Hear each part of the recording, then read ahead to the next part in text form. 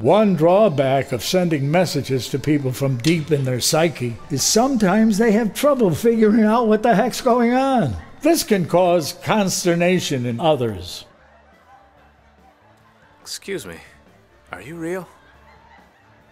I'm not giving you a line. I just had this really vivid dream last night and thought maybe I was still asleep. Fine, I'm real. You look very nice. Thanks.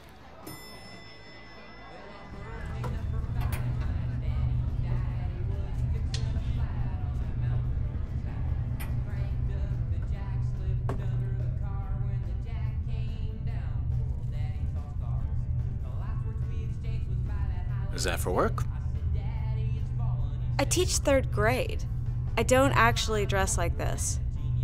I thought maybe you were a dancer or a waitress. Oh, you thought I was getting off work. You look like you're going to church. Wedding. I bet I'm having more fun than you are.